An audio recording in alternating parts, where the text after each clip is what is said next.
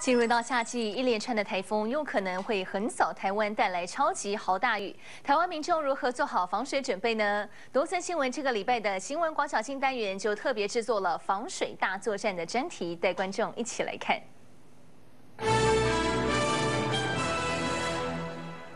尤其呢，台湾现在是梅雨季，豪雨来袭，很多地方都淹水，房子泡在水里头。保险业者就提醒大家，其实哦，买活险的时候可以附加来投保台风洪水险，包含了家电、家具这些动产是都可以理赔的。不过呢，记得要先拍照，也要注意，必须在五天之内提出申请才有保障。豪雨来袭，部分地区大水甚至灌进屋内，家电家具全都受损。像这样的水灾险理赔，投保前可是有秘诀。你可以在买这个火灾保险的时候，同时去买有关这个台风洪水的附加险，应该不到五个 percent 吧。不过，很多人误以为只有住低楼层才需保台风洪水险，其实高楼层玻璃遭狂风吹破也算在理赔范围内。以每一百万的保额来说，保费大约两千多块。不过要注意，动产方面会计算折旧率，以使用两年的电视为例，理赔会打折大约一半，而且五天内就要完成申请。呃，家电跟家具这些是我们讲叫做呃动产啦，就我们也使用了可能若干年度，那这个部分折旧是会扣除的。先拍照。人来人往的中孝东路这次也成重灾区，房中业者也提醒店面，如果不幸淹水，租金方面可跟房东先谈谈。在签约的时候，在附加条款，下大雨淹水的这个情况的话，那是不是可以在租金上做一些减免？我为了淹水的事情，我一个礼拜我没有办法营业，哎，那我可能是不是一个月的租金，我可以扣掉一个礼拜的这个租金？梅雨季节，台风灾损不可预测，不妨花点小钱帮心爱家园多买层保障。东森财经新闻传媒刘子腾综合报道。当下起暴雨的时候，这个时候车主也很担心爱车泡水，要如何防范？专家就说，如果呢已经在淹水的状态，建议车速要放慢到四十公里以下，避免水花溅起来。如果呢不慎泡水了，也千万不要慌，先关闭冷气，再来启动引擎，慢速离开淹水区。暴雨席卷台北，一台台车轮胎一半几乎浸在水里。员工赶紧忙着移车。另外，这是在关渡的宾士展示中心，就怕这三十多台新车通通成为泡水车。像这样子的滂沱大雨，最怕你的爱车淹水或是泡水，要怎么防范跟自救呢？达人来教你。如果有在淹水的状态，建议让你的速率最起码就放在四十以下，进气系统去吸到那个水，反而是吸到引擎里面，对整个引擎系统就损坏掉了。原来车子最怕像这样。注意一下，开快车，水花就直接溅到引擎里，造成损害。因此，车速放慢是初步防范方法。但如果不幸泡水高度达轮胎四分之一，也不要慌，只要关闭冷气再启动引擎，慢速驶离淹水区。如果太严重灭顶了，各大车厂也有救援方案。现在造成车辆的一个受损的话，哈，那我们的一个维修的部分都有零件八折的优惠。重大的天灾的时候，我们确实是有时候会推出这样的。呃，修缮的一个优惠的方案，但是目前我还在确认中。除此之外，要如何一眼看穿是否为淹水车，也有简单的小配包。一进去之后就闻它的霉味，我手伸进去随随便便乱摸一下，一伸出来你就会有一些有的没有的泥巴的时候，这个车就是百分之百的有泡过水。匕首并用，就怕爱车泡水，防范自救很重要。不过严不严重，恐怕还是得靠专业的拆解检测。东森财经新闻张教授潘玉泉综合报道。还有一种状况哦，也是淹水，而且呢，要是在车内已经开始进水的话，其实呢，这车主还有乘客有黄金二十秒可以逃生的，而且还要有顺序。另外呢，如何来防止爱车泡水，能够快速充气的汽车救生艇也可以帮上大忙。豪雨来袭，若是像这辆计程车几乎要灭顶，您就得抓紧逃生的黄金二十秒。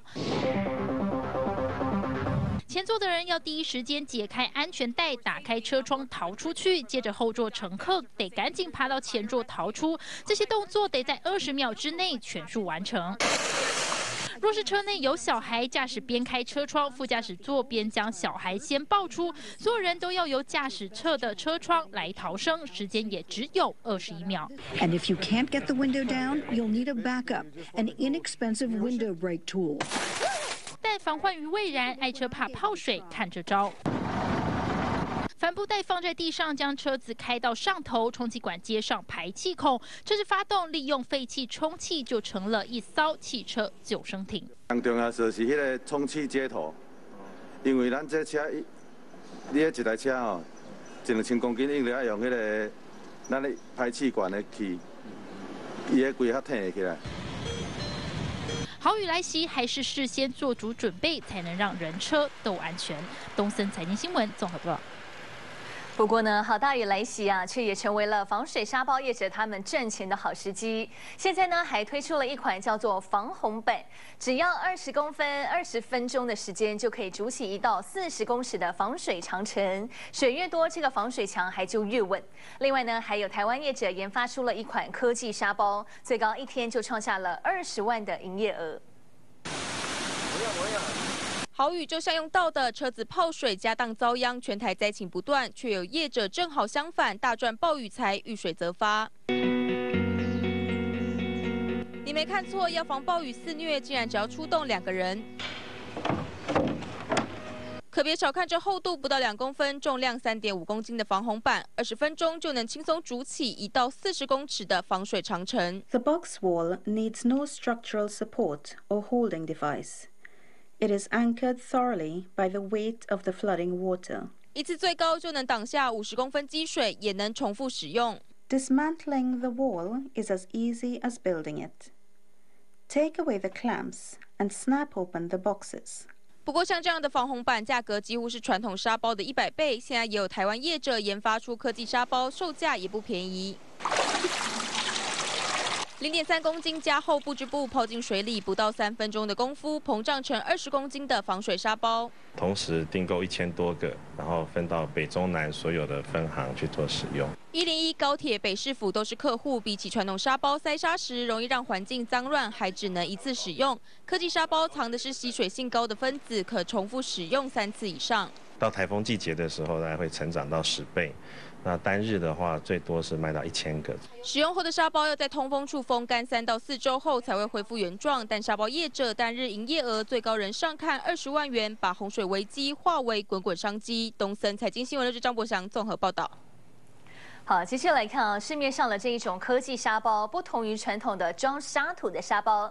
科技沙包重量不到零点三公斤，泡水之后才会膨胀，变到二十公斤，而且呢是可以重复使用的，也成为了各大企业的采购商品。虽然呢价格贵了有三倍，但依旧卖到缺货。台风夹带着大量雨水，你担心家里会淹水吗？现在就有这一款零点三公斤的加厚布织布，只要丢到水里面三分钟，就能够膨胀成二十公斤的防水沙包。泡在水里的沙包，用手将布织布上下搓揉，加速沙包吸满水膨胀，实际与传统沙包比一比。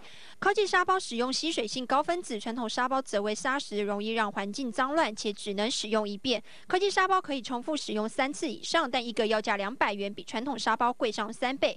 缺点是遇到盐会分。也不适用于海边或是海水倒灌地区。到台风季节的时候，大概会成长到十倍。那单日的话，最多是卖到一千个。预防台风带来的淹水，吸水沙包在旺季单日营业额上看二十万元，连国内企业也备着防灾。统一集团、台北一零一、台湾大哥大、高铁、长荣航空、北市府都使用沙包防水灾。有一间银行，它就是同时订购一千多个，然后分到北中南所有的分行去做使用。想彻底防淹水，必须要让沙包紧密接触，就像堆砖块一样，一层一层往上堆叠。使用后的沙包在通风处风干三到四周会恢复原状。如果不再使用，可以泡盐巴脱水，或是当成植物保水剂。不让台风坏了中秋烤肉兴致，事前防灾准备就必须要好好做。东森财经新闻陈伟俊、余家豪台北采访报道。新闻广角新单元，每个礼拜带观众来深入分析热门的新闻时事。观众要收看更多内容，还可以手机下载东森新闻每周 App，随时随地来收看。